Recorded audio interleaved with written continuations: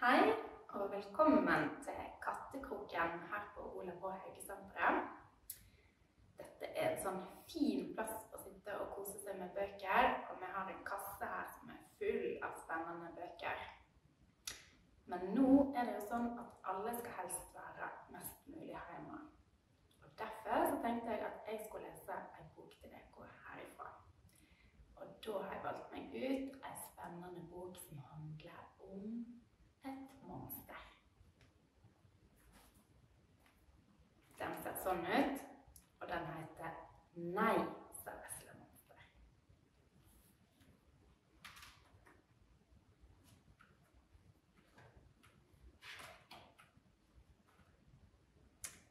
Det er stilt og godt. Men hør, det banker hardt på døra. Hvem kan det være? Å nei, det er store monster. Da åpner jeg ikke.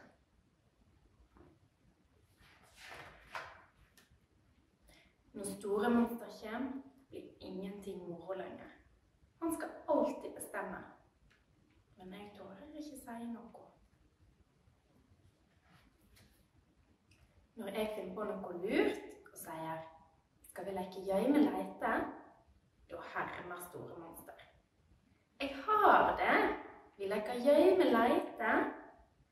Og alltid sier han at jeg skal stå og ikke se og telle og lete. Jeg får aldri gjemme meg. Men jeg tårer ikke si noe. Og når jeg tegner noe fint, da kroter store monster på arket mitt og skrukker det. Og han setter aldri på nye mine. Men jeg tårer ikke si noe. Og hvis jeg sier at jeg frys, roper han så alle hører. Slepte du en fis? Men jeg tårer ikke si noe. Og store monster lokker meg med på å terge småtussene og til å le når de griner. Men jeg tårer ikke si noe. Og han nasker penger fra mamma mi, men jeg tårer ikke si noe.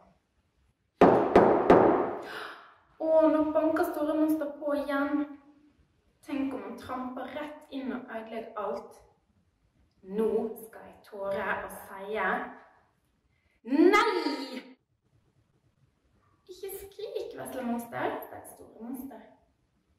Jeg skulle jo bare spørre om du vil være med og fiske. Nei!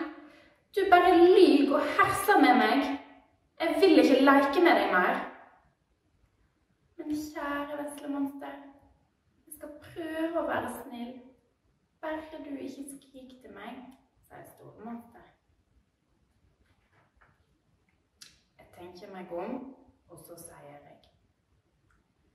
Da må ikke du bestemme hele tida, eller herme etter meg, eller si at jeg skal stå hver gang, eller skokke tegningene mine, eller ødelegge tusjene, eller lyge jeg fis, eller terge småtussene, eller stjele fra mor mi.